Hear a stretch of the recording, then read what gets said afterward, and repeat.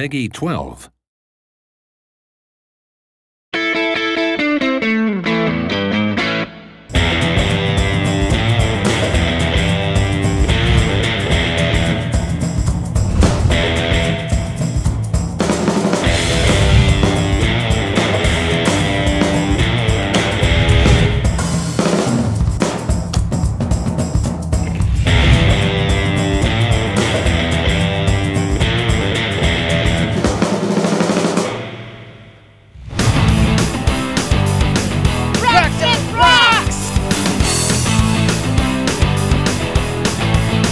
That game was rocking.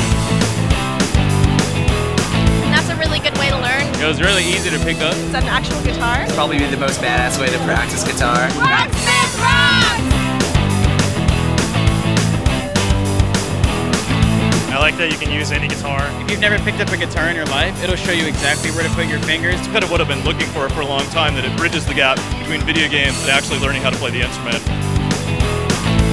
is awesome. It's fantastic.